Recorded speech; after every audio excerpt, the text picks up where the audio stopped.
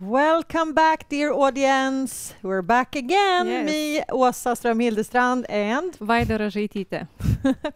and we are here to uh, do our Nordic tour and hear from our local and regional experts on this topic. But first, we'll of course like to look at the Menti results. So here are the results. Yes, it seems that most of you feel that the session is interesting. The, you feel the collaboration spirit as well. You feel informative, and uh, there's a lot of different uh, expressions that you think about lifelong learning, the young, young people, uh, structural changes, social skills, social upgrade, importance, and many, many other words you type in here. Uh, thank you so much for contributions and don't forget to post questions for the upcoming speakers. Yes, because now when we uh, uh, start our uh, Nordic tour, uh, we'll also uh, uh, try and make room for questions as we move along. Uh, so we'll uh, have five speakers uh, and learn from their uh, their uh, work at the regional and local level. But first of all, we're actually uh, visit um, the leader of one of our thematic groups on resilient regions, and she has more of a helicopter perspective. So let's go to Norway.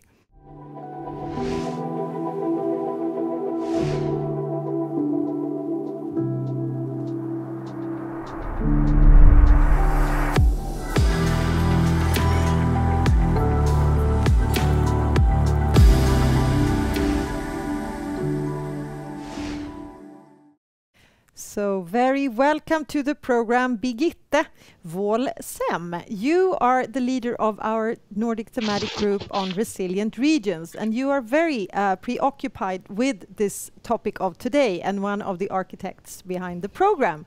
Uh, so we're looking forward to hear your comments on the keynotes uh, and, of course, uh, from the from your perspective uh, as the leader of the thematic group uh, on this topic. Thank you. Thank you so much. I think uh, this uh, this seminar is really professional. It's nice to uh, to participate.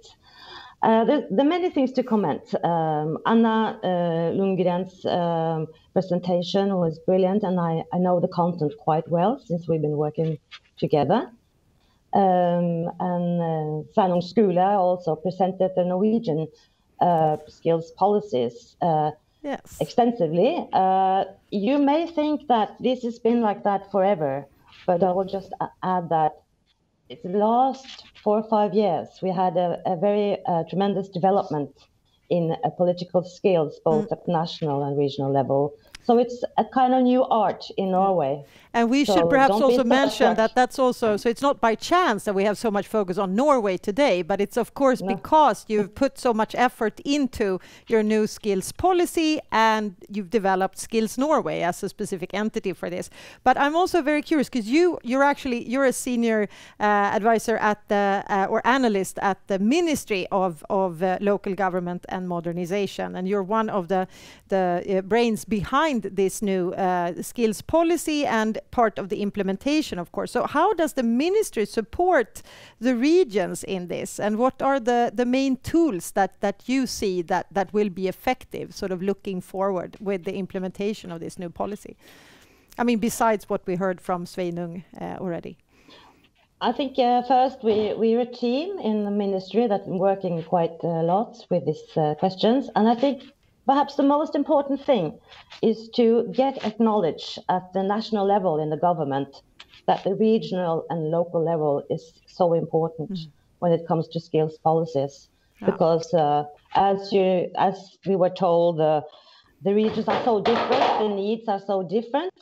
So that has been a struggle to really get the uh, legit- legitimacy and the acknowledged from the government and the different ministries that you have to empower the regional level so they can do their work uh, targeted at the regional and local level.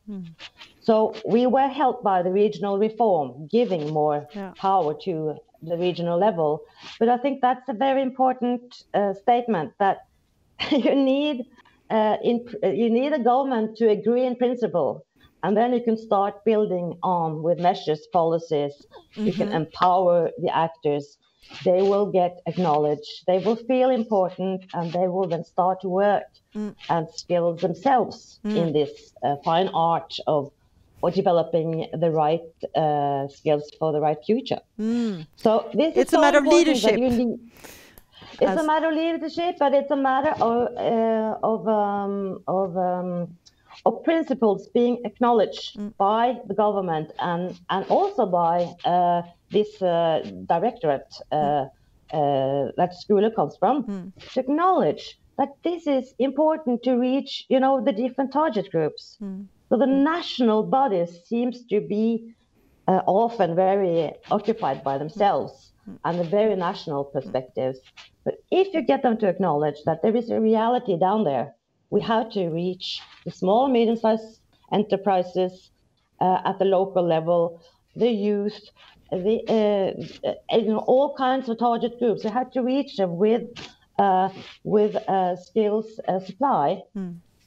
then you can start building policies and measures.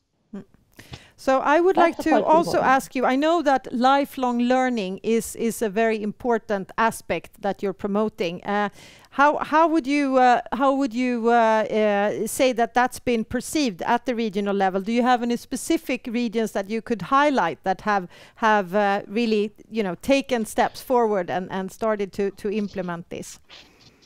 Yes, I would think that uh, we have. Um, mm, we Anna talked about the regional ecosystems of skilled uh, or competence actors, and I think that is uh, extremely important. And and we have an example in uh, at the west coast, Vestland, mm. the county of Vestland, uh, other places as well, but they were in forefront.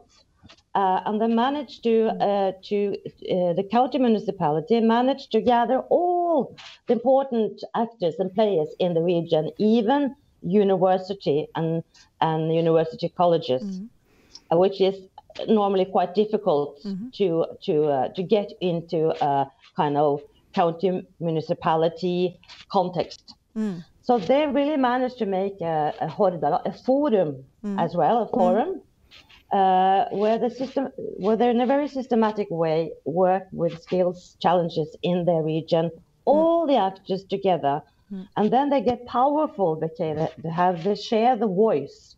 So the voice is important also to the national level. Mm-hmm.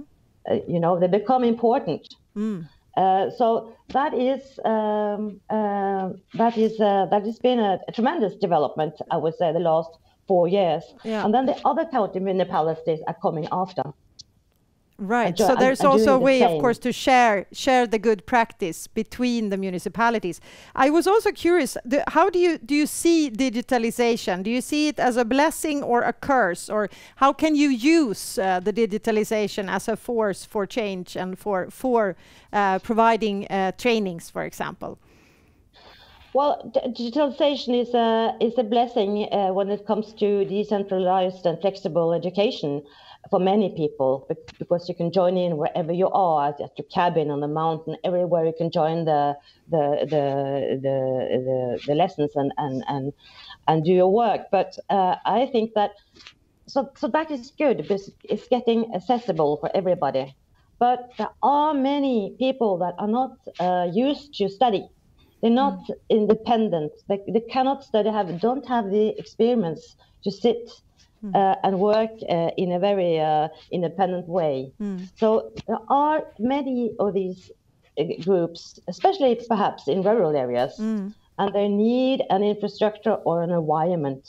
They need people around. They need mm. some coaching, combining digitalization and and meeting other students and teachers getting inspired, getting through the program. Mm. Mm. So it's not a blessing for uh, everybody. Yeah.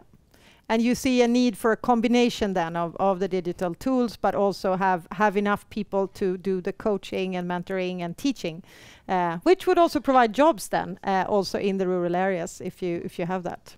I guess. Well, there's a lack of teachers uh, in the rural areas, so it will be a challenge. But but uh, yes, uh, I think a combination has to be flexible. It has mm. to suit people.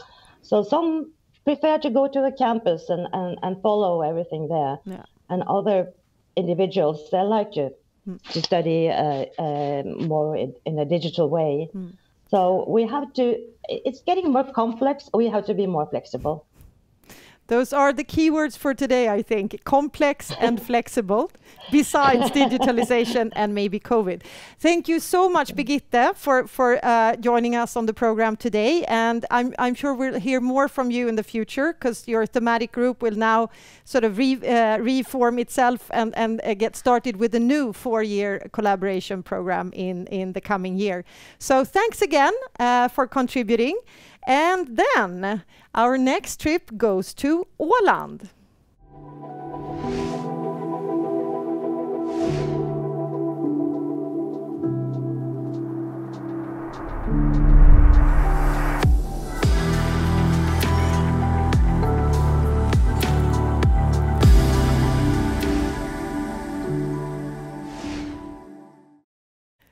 Right, welcome to the program, Jouko Kinnunen. You are the head of research at Åland Statistics and Research.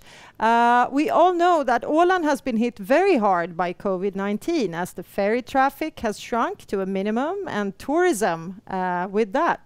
Uh, so, Jouko, please give us an, a picture of the situation uh, in Åland right now and how to move forward. Uh, where are you heading? Yeah, thanks. Thanks. Uh, you are absolutely right. Um, Åland is one of the hardest hit uh, regions in in in uh, Finland when it comes to corona restrictions. Not so much uh, much with the corona itself. We have, have had very few uh, cases of, of COVID-19. So uh, the the restrictions of free movement have uh, struck a real really hard blow on uh, the the uh, heart of the Åland economy that is uh, How, how does it look in, in shipping. measurements in terms of unemployment and, and uh, GDP growth? What do you see? Well, we are calculating at, at our statistical office that uh, we uh, will have like uh, 10%, uh, 9 10% uh, annual uh, uh, unemployment rate this year, which has never been seen before in, in Åland. Oh, it's, wow. it's like the triple the normal rate. Uh, when it comes to GDP, we think that we will lose 16% of, of GDP compared to 2019, and this is also a drop that we haven't seen before. How, how important would you say that Nordic collaboration uh, is for Åland and, and well, your relation to, to the outside world? So we really uh, live on on on uh, free uh, movement and and and uh, cooperation with the Nordic regions. Uh, we need the Swedes to come over and and and, and enjoy their life with us. The Finns have been able to to to visit us this summer, and it's, it has really saved some of the some of our businesses from from going bankrupt uh, already. But we are waiting with the uh, well uh, with some hope that the next summer will be better. But if it's not, we are in really dire straits. And is this specifically uh, the tourism industry that's been hit hard, or has it also sort of spilled over to other key sectors in the economy? Well, the tourism itself, it's it's uh, kind of hidden in uh, in many different industries, but uh, of course, uh, hotels and restaurants and and and transports are the most badly hit. Actually, in when it comes to, uh, for example, retail trade, uh, we see that the, there has been some decline, but it's not so dramatic. There's another side of the coin, namely that uh, we Ålanders love to go shopping to Sweden, and that has been very difficult this year. Yeah, yeah. So we spend more money uh, locally. So that outweighs a little bit, or at least counteracts this this uh, sharp uh, decline. Uh, so, uh, if you look at COVID from the different perspective, do you see any ways that you could use uh, the COVID situation to to boost the digitalization and business uh, innovation in in Åland, and also the focus that we already talked about here today with upskilling? How how how do you see that, or do you see that happening in Åland right now? I think many companies have been looking for kind of uh, new ideas to to to to uh, find find new business. And and, and of course uh, here as well in other places we have uh, uh, leapfrogged uh, ahead when it comes to using using digital tools in in meeting people. And I think that in the in the longer term this may be a, a, a, bit of a blessing that maybe people understand that, for example, they can live here and, and uh, work towards uh, Stockholm and Helsinki even more than we have some people doing it already. And maybe we see more people uh, uh wanting to do that. Mm-hmm. Do you see the same happening in terms of education, or that young people can now stay in Åland but still follow education programs at universities in Finland or Sweden, for example, or other places? Well, uh, when it comes to uh, education, higher education, uh, a lot of youngsters leave for Sweden or, or Finland for studies. During these corona times, we have had some some of our youngsters to come home and, and uh, continue studying towards the universities in, in, in the mainland Finland or, or Sweden. But uh, the main uh, pattern, I think, is that, that, the, that, our students are uh, at the university uh, at the university cities and, and visit uh, home less frequently. Mm-hmm. So it's it's not a sharp or a big difference there. I was also curious. I mean, we talked a little bit about green transition, and I know that that you have a, a, an ambitious plan for Åland 2030 and to to uh, yeah trans transition into a more sustainable society. Do you think this uh, this program or these plans will be accelerated also through or with the help of the digitalization that is happening now, or would you like to comment on that as well? Uh, yeah, uh, I think there have been a lot of uh, policy discussions at the national and international level that that uh, kind of uh, promotes the idea that the green trans transition should be the way out of this uh, COVID uh, recession. And I, am happy happy to welcome that if, mm. if it is the case. Mm -hmm.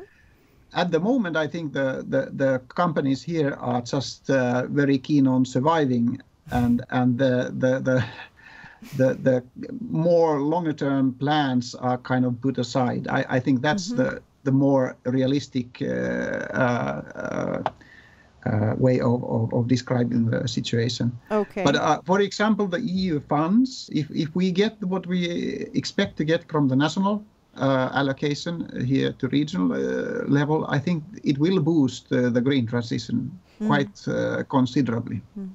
And, and when it comes to, to upskilling then, because I can imagine that green transition also requires lots of upskilling in the local companies, for example. Do you see that the government of Åland has uh, has taken any specific steps in that regard to to help with uh, with the skills provision, so to speak, or help companies with the upskilling uh, to to be able to to uh, take these steps in uh, in the green transition? Uh, I would say that uh, we have seen some interesting uh, initiatives that have tackled the the current crisis. For example, there was a kind of a very at very short notice, there was a conversion courses for those who had nursing education but were working on board the vessels, passenger vessels. Mm. They could update their skills and and start working at the local hospital. Ah. or in elderly care while, while they were uh, furloughed from, from the shipping companies. Mm-hmm. And we see, also see that uh, these needs uh, youngsters have yeah. been um, um kind of uh, there's a, there's a project uh, starting where they are kind of uh, trained to work within care, elderly care, where they see uh, uh, get a, a, bit of a training and, and kind of a taste of that kind of work, and they can then uh, think uh, what are their further steps. But there, there are all kinds of small, mm-hmm. they're quite small initiatives, but there are there are plentiful uh, new ideas going on. Well, I think that's nice. So we end on a bit of a hopeful note, despite the sort of the dire situation overall. You still see that there there is creativity and there are are ways uh, forward. Sounds like. Yes. Uh, for example, in the hospitality uh, uh industry, also I see that uh, hotels and restaurants they are luring the, the local inhabitants to stay overnight uh, in, in, in, in, in their lodgings and kind of selling this weekend weekend uh, packages, and uh, I think that's a that's a good idea. Yeah, definitely. All right, thank you so much, Jukka, for for sharing this uh, image of of life in Åland right now and the prospects for the future. Thank you so much for being on the program. And our next trip goes back to Sweden.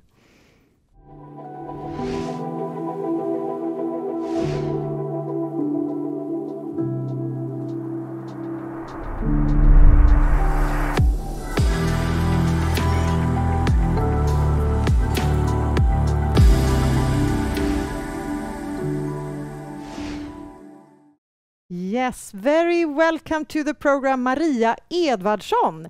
You're a, a, coordinator at the vocational SFI school in Karlstad municipality. SFI standing for Swedish for Immigrants. And as we also saw in this uh, this uh, jingle or this little introduction video, uh, Sweden is becoming a very uh, multicolored and diverse society. And you work in the middle of that, and you've developed a very successful form of integrated language and vocational training for refugees to Karlstad and Värmland uh, region. And uh, since 2017, you've, you've worked with this uh, concept to beat unemployment and improve skills and matching in Karlstad. And uh, it's one of our case study regions as well that, that Anna presented earlier. And it's a mainly rural region uh, on the border to Norway. So with that introduction, Maria, please tell us more. What is special with this approach and, and what are the success factors? Thank you very much, Rosa. Uh, the special thing about the vocational SFI is that it integrates learning Swedish with a vocational education. So our students, they can actually learn Swedish at the same time as they learn a profession. And this has proved to be very good for the students because uh, doing something practical and in an authentic situation uh, benefits their learning of language. Uh, and that is also how they have traditionally learned in their home countries. So that's one uh, success factor for us, that it's an authentic situation that we use for, for the learning. Mm. Um, I also know you work very closely with the labor market and, and the, the private sector actors that are looking for skills. Could you tell us a little bit more about that as well? Yes. Uh, before we start a new education, we always talk to the company companies because we really have to make sure there's a need for workers. So we don't start uh, vocational SFI if there is not a need. So we have really good relationships with the companies uh, and the companies they work together with us. Uh, they provide internships uh, for our students so that at least 15% of the education is in a company. Right. And and I also know that you've worked hard on the recruitment process to to make sure you get the right students who are really motivated to learn a certain skill. I don't know if you could say something about that as well.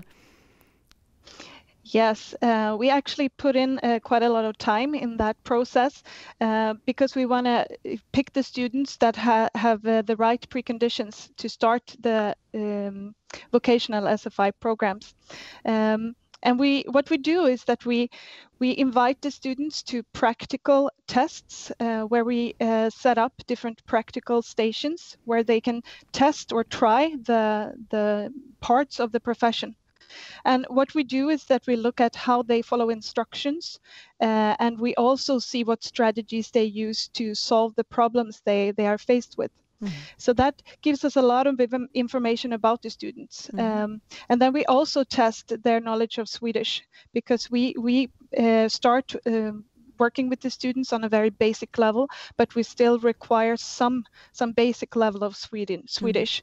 Uh, and then we also make an interview uh, where we ask about the motivation, uh, we ask about what they have been working with before, uh, and try to to identify uh, the students that are really motivated for this profession.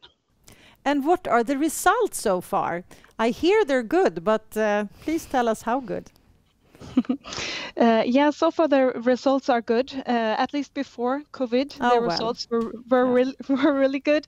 Uh, so the first 24 students that finished uh, their vocational SFI, uh, out of the 24 students, uh, 22 got a job after the the education. 22 out of 24. I think that's fantastic. Yes. And and Yes.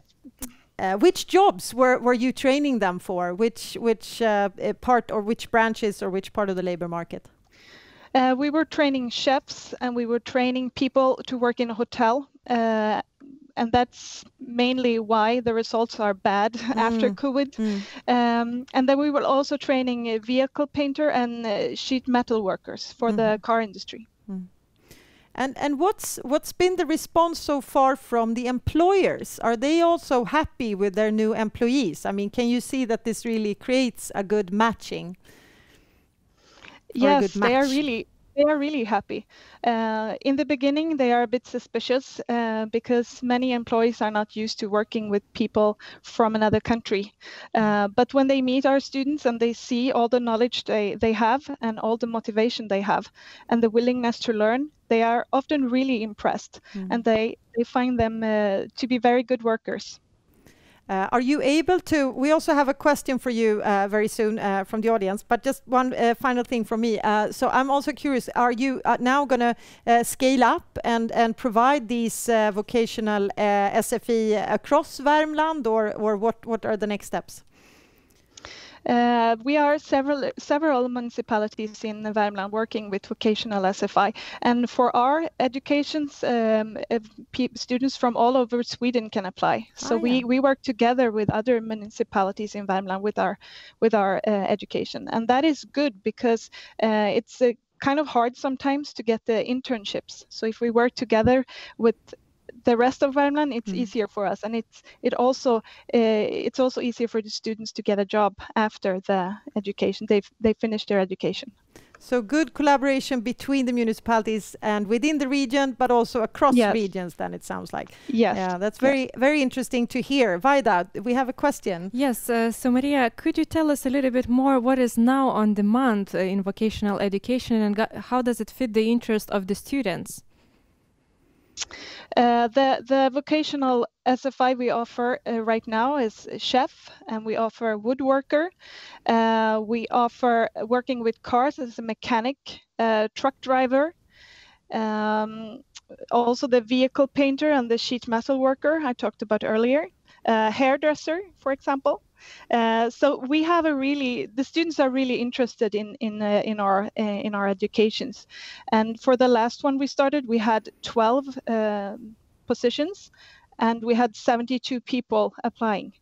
So it's not uh, difficult to find students to to apply for for these classes.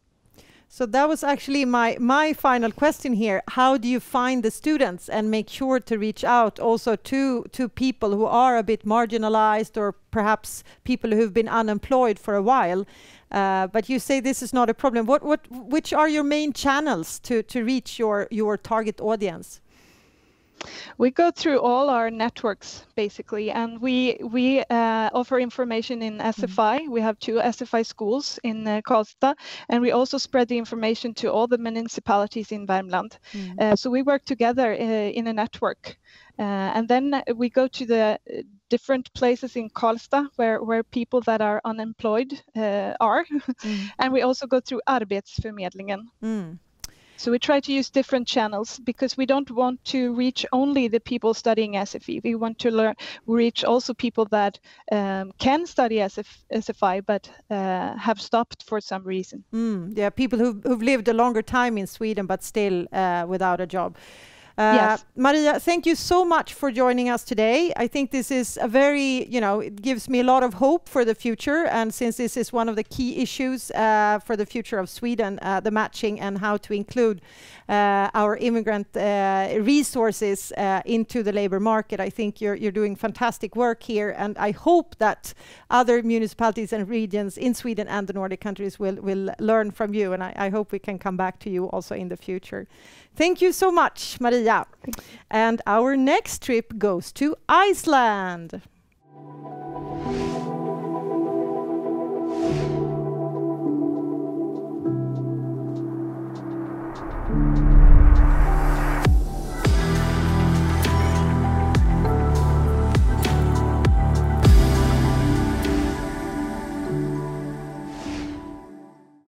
Oh, I really want to go to Iceland. I wish we could fly. Anyway, Sigurdur Olafsson, I hope you're with us now. Very welcome. Uh, you, you happen to be in Iceland, but, but here today you're actually representing uh, the West Nordic Council uh, as well, uh, since you're the Secretary General uh, of this regional collaboration body for Iceland, Greenland, and the Faroe Islands. Uh, you have a special focus on, on youth uh, and skills uh, this year and the next. So, uh, what, what does this mean in practice, uh, Sigurdur, and, and, uh, and what are the key challenges and, and strengths that, you, that you're focusing on? Well, thank you for inviting me, and uh, thank you for uh, casting light on the Western Nordic states, uh, Iceland, Greenland, and the Faroe Islands. I would also love to visit Stockholm and Sweden now, so uh, we could maybe have some mutual agreement. No, not in November. You don't want to come in November. come in the spring. okay, I will. Well, the West Nordic Council is actually maybe just a few, a very few explanations on what the West Nordic Council is. Yes, a, oh, of uh, course it's it's maybe you could maybe simplify it by saying that it's a mini version of the Nordic Council. Uh, this is a parliamentary cooperation between the Faroe Islands, uh, Greenland, and Iceland. Um, it comprises of 18 members, three from uh, uh, six from each parliament, from these three countries. And we have, uh, as you mentioned, uh, we have always um, had, or for a long time had, some theme that we pick. And this time we actually picked this uh, theme of uh, the our young people in the West Nordic states and uh, specifically in the rural areas. And to be quite frank, we were partly actually inspired by your report from Nordregio, uh, reading about all the challenges from the young people. Of course, we were aware of them, uh, but uh, but that helped us in our analytical work of, of casting light on this very important theme we have, of course, a very diverse group between the countries and uh, within the countries as well. But uh, this is always interesting for us, uh, for the parliamentarians and for the public, uh, as, um, to to uh, be able to compare within these uh, three, in some ways similar, but in some other ways very different countries. Mm -hmm.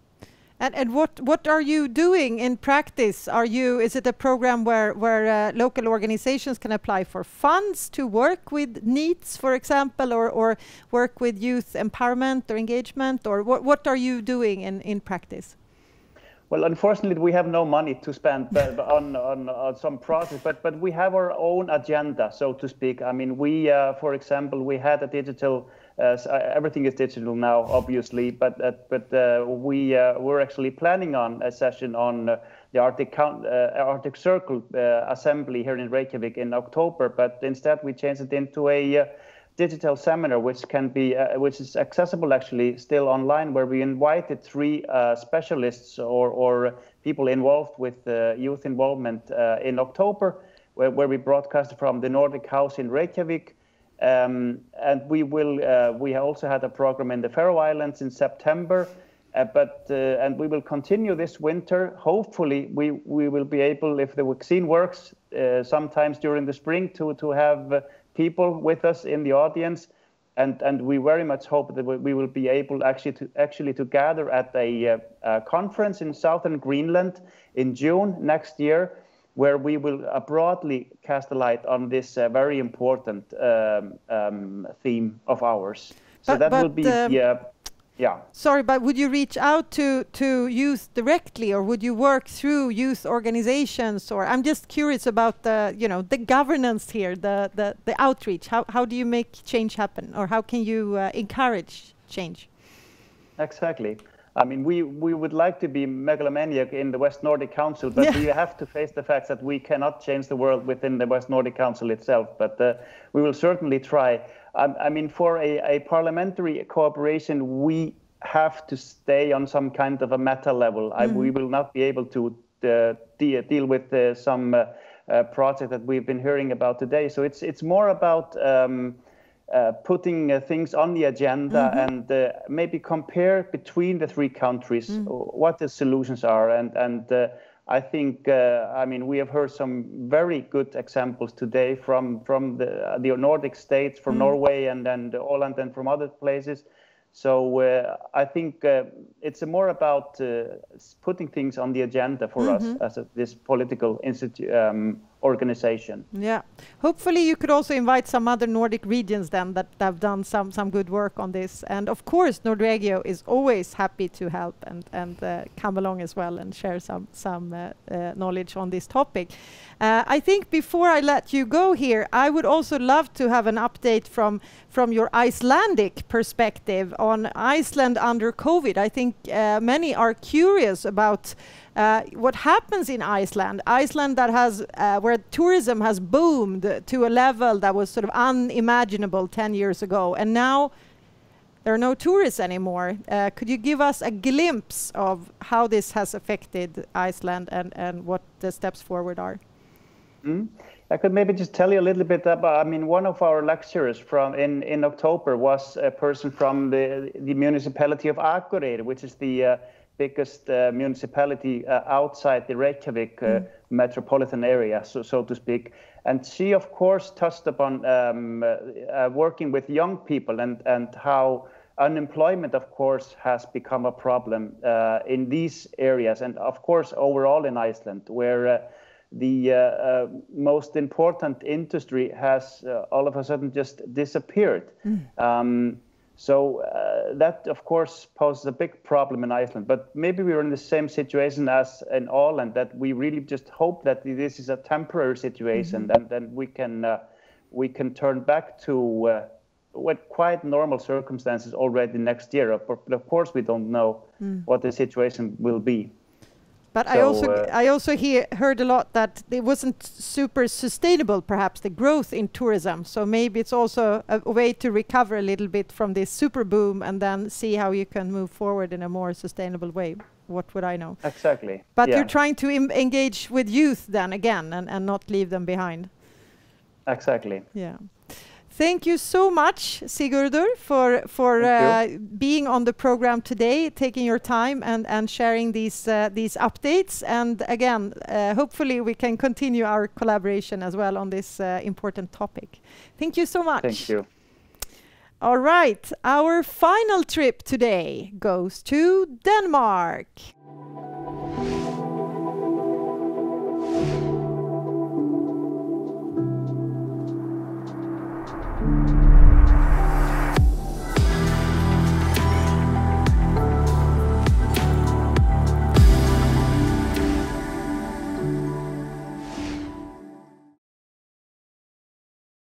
And welcome to the program, Søren Melcher.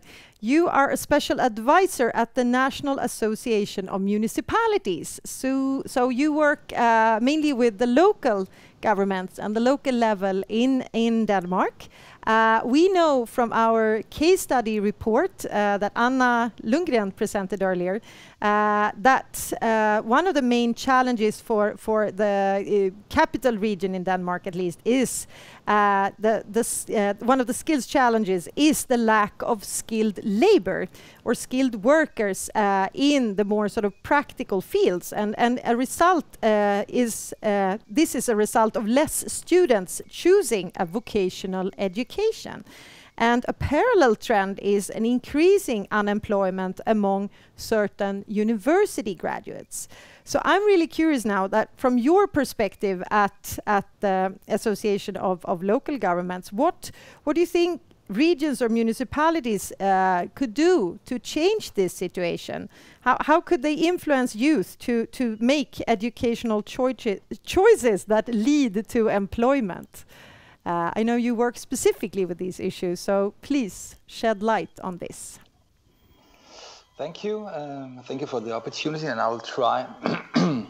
I partly work with um, um, with the the municipalities uh, in uh, in their efforts to um, to turn this picture around that you just um, laid out for us. Um, it is a long process which uh, gives us, uh, which uh, entitles on diff- different levels. There are both the levels in the primary school. Um, what do we do in order to affect the current um, choices that the youth have? Um, what do we do to enable them to see other mm. ways than just uh, gymnasium and higher education um, because that is, of course, not the best decision for everyone.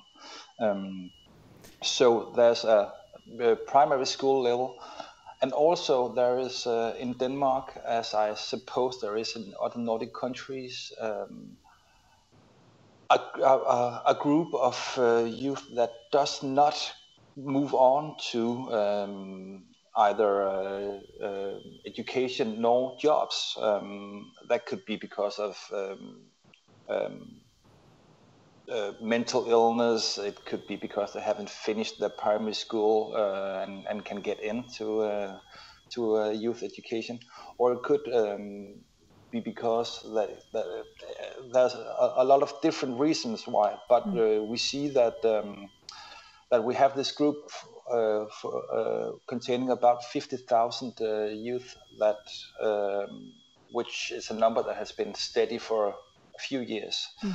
Um, which is, of course, for the individual young, um, a very unsafe place to be. Um, many of them um, uh, use drugs and um, are a, a criminal, uh, turn, turn to crime and so on and so forth because they have no other, uh, other place to belong.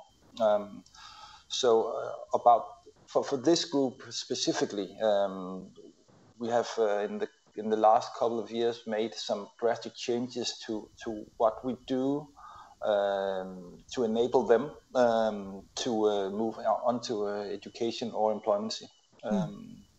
So I think this is super interesting and, and uh, also, of course, relates to, to our keynote earlier here, what Anna Karlsdóttir was, was presenting about our, also the Nordic perspective, because this is, uh, of course, a trend in the other Nordic countries as well, uh, as well as outside of the Nordics, with, with an increasing group of young people who actually don't make it to the next level of education. Yeah uh, or finalize their education. So, but if we come back to the issue of how could you then make uh, vocational training more attractive, and then I guess you have to look at both target audiences, both for those who actually find it very difficult to study for various reasons, but also for those who might otherwise choose a university education which might not lead to a job.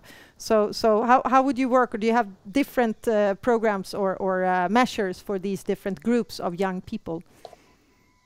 Um, yes, uh, my uh, field of work is mostly young, uh, so I am not that involved uh, with what uh, with the um, uh, the students from the university and their unemployment. Um, mm. No, but if we forget about them, we, for, we, we focus yeah. on the ones who are now supposed to choose whether they should take a vocational training or a university training or education, so to speak? How, how do we make it more attractive to choose this track of vocational training, which actually leads uh, to, to more jobs? Exactly, and, and, and that has been a political political goal um, for many years now, mm. but it, it hasn't entitled any, any, any variance in, in, in the way they choose.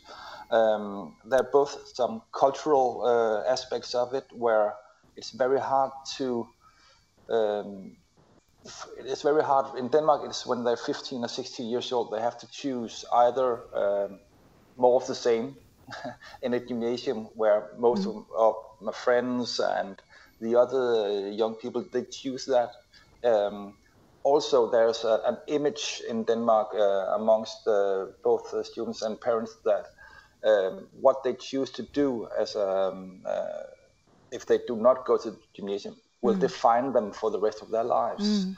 Um, our education system um, has uh, can be pretty. Uh, um, it's how do I say it? Uh, it's it, it's structured um, in a difficult way, um, mm-hmm. so it's it, it's it's not easy to see that if if if, if I, for example, become a carpenter, uh, I can afterwards educate me to do this or mm. go to that. Mm. Uh, in Denmark, it, it, looks like it's pretty locked. It isn't that locked. Okay. It's um, yeah. But you create so, that feeling somehow, or the system. It makes people yeah, feel the like they're entering some kind of of uh, closed alleys. Yeah.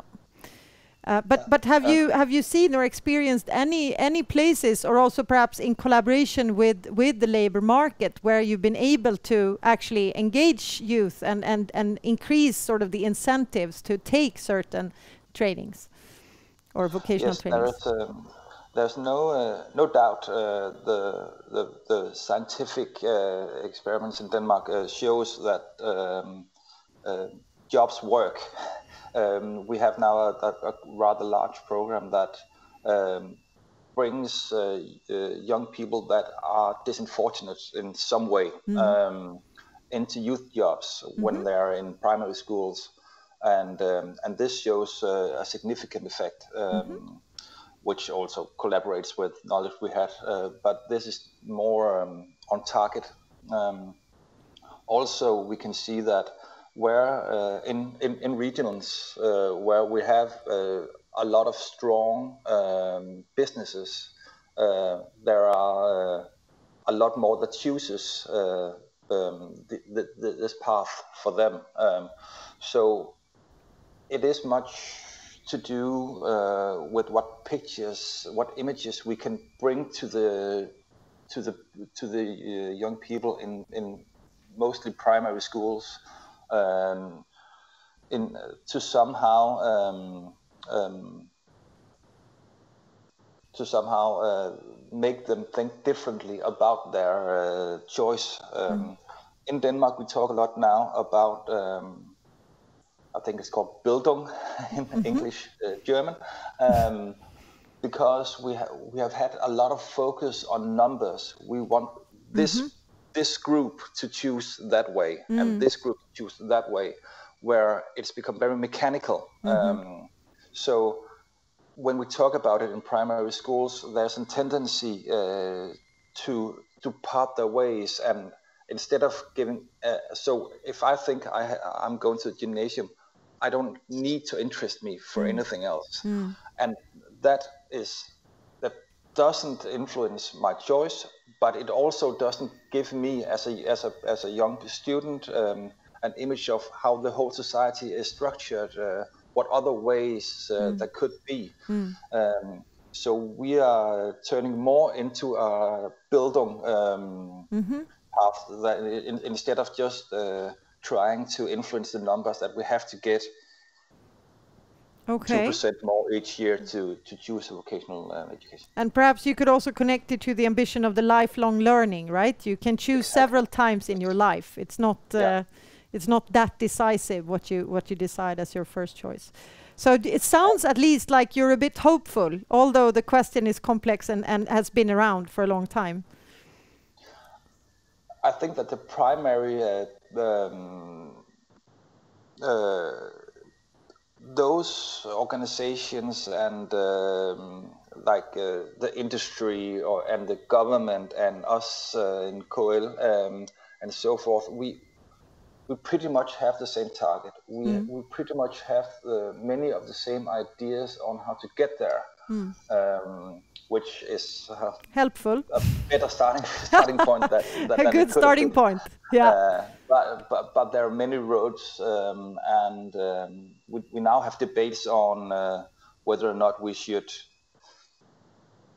mm. uh, make drastic changes mm-hmm. to the whole um, um, educational system. That's what we talk about. Mm-hmm. The um, uh, the Folketing, um, mm. our uh, leaders are Parliament, yeah. That's not what they're talking about. So Uh-huh. we have a lot of different ways in, uh, Okay. uh, um, in seeing this. So it's uh, of course it is uh, very political, uh, Mm. but it's there is a profound wish to to to make changes that could um, bring forth that um, Mm. that progress. Uh, we that, that, there's no denying the need. Mm. um, so yeah. Well, uh, thank you so much, for, uh, Søren, for, for, for joining the program today and shedding a little bit more light on this, uh, yeah, complicated issue of how to engage with this youth that are, yeah, disengaged or whatever you call them, that are far from from the education uh, track, but also other youth that could could benefit from a vocational uh, training or education more than more than a university degree, perhaps. So so let's see, and I hope that we can also learn more in the future and maybe come back to to to you and other uh, regions working with similar issues uh, in future studies. So thanks again for for being on the program. Uh, and with that, I would like to just summarize uh, our Nordic tour for today and the program. And uh, again, uh, leave the floor to to uh, our dear uh, research director at Nordregio, Karen Refsgaard.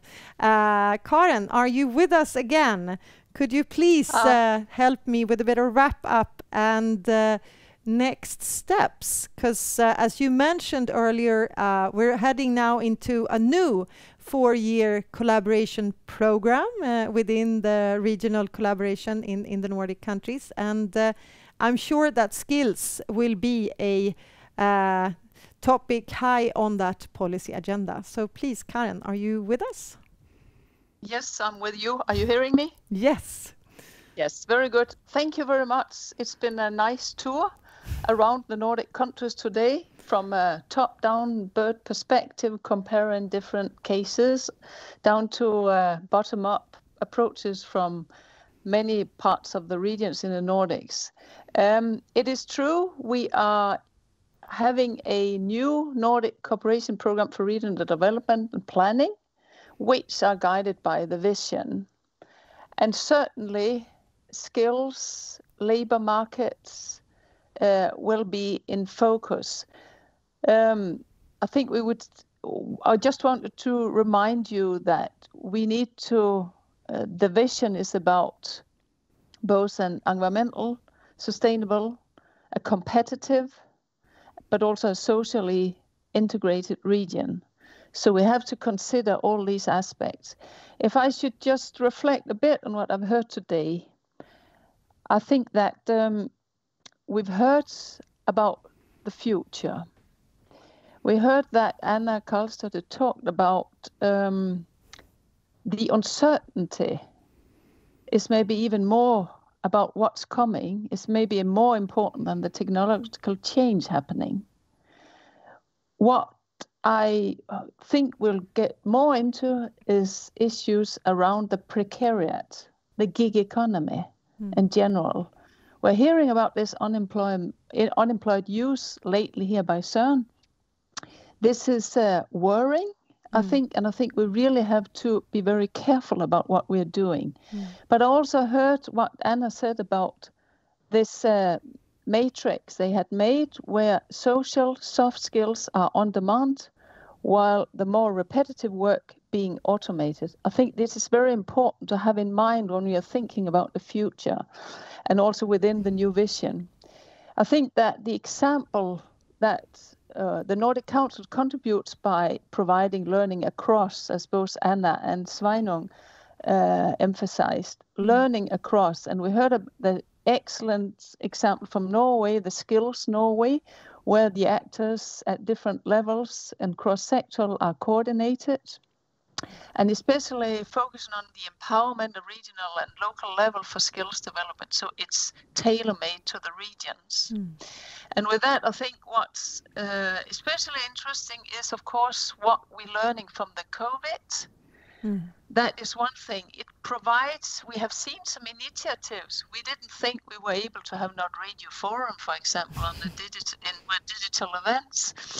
Uh, we heard from Ortland about the flexible and creative uh, changing of one's skills, the nurses being an example. Uh, and um, we also heard a brilliant example from uh, integration of immigrants, vocational SFI in Värmland. I thought that was very something we really can learn about mm. when we think about the future challenges. Mm. Um, I think also that what Søren brought in about Bildung, uh, the German building, and uh, in general around the uh, what's cool mm. and what the young people really want that we are presenting having an academic uh, education as the one and only. Mm. There is a lot of pride in vocational training. There could be, and I think there will be much, much more in the future with all the new types of jobs. There is an, a vast amount of opportunities in mm. the green transition, but of course mm. also in other places. But all the new types of education that will come up because we have a totally transformation of our society mm. that is called to take part mm. in. Mm. And that's where the regions can play an important role. Mm. Thank the you so much, Karen. Yeah, I sorry. One more, yeah, one more one thing. More thing. That is the tourist because are turning into. We have two more events left, and one of them is the sustainable tourism mm. post COVID nineteen. Mm. And I think they built very nicely on both the stories from Auckland and Iceland. Uh, what are we going to do that with the tourism in the future? Mm. And also one on Brazilian and rural development, and that's happening in January mm. next year. Mm with that, I think, for today and for a lot of inspirational uh, inputs. Thank you so much, Karen. I think you uh, helped us end this on a fairly happy note and uh, quite correct. We will come back with the final uh, session of the forum series after Christmas, and that program will be will be launched in December. So more information uh, about that to come. Again, big big thank you from me and Vaida uh, and uh, the whole Nordregio team, of course, to to all of you in the audience, and of course all our speakers. Thanks for taking the time. Thanks for being part of the discussion and uh, answering the Menti questions as well. Um, recordings and slides from today will be emailed to everyone who, who registered for the event and also available on the event page on our website. And now, don't miss the meet and mingle on Zoom. And again, you'll find the link in your email. Did I forget anything? No, I think you covered it all. Thank you so much for being this afternoon together with us. Yes. Have a wonderful evening and uh, take care. Bye-bye. Bye.